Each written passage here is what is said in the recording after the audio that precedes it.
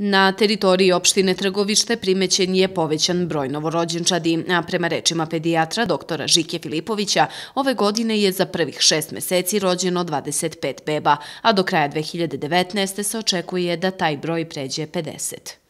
Aparat je u vrednosti nekde oko 25.000 evra. On je pretočno namenjen mm, ovaj, trudnicama i podizanju populacije odnosu nataliteta. U kratkom roku, negdje za pet nedelja, mi smo pregledali, znači, naš dom zdravlja oko 250 ultrazvučna pregleda, od toga negdje trećina, znači oko 90 su upravo trudnice, ostalo su deca, radiolozi, čak smo angažovali i eho srca, što je prvi put se radi u trgovištu i dople krvnih sudova. Znači, ukupno negdje preko 250 pregleda je obavljeno. Ultrazvučni aparat lekaru služi da postavi dijagnozu određenih unutrašnjih bolesti koje je nemoguće potvrditi samo anamnezom i laboratorijskim nalazima, ističu stručnjaci. To je savremena dijagnostička metoda koja ima veliku ulogu kako u prevenciji bolesti, tako i u održavanju i vođenju zdravog toka trudnoće. Ovim aparatom smo u mogućnosti da pratimo tok trudnoće, znači pretežno tok trudnoće i uočavamo rane poremećaja u razvoju bebe, odnosno začeća.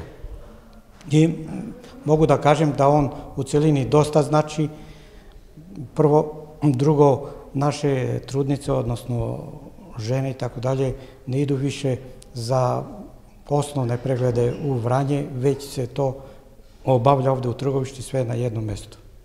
U oblasti društvene brige o najmlađima omogućen je besplatni boravak u vrtiću za treće dete i decu nezaposlenih roditelja.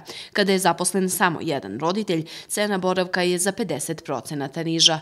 Usvojen je i pravilnik o populacijonoj politici gde se predviđa da svaka nezaposlena porodilja, gde i bračni drug nije u radnom odnosu, dobija po 30.000 dinara mesečno.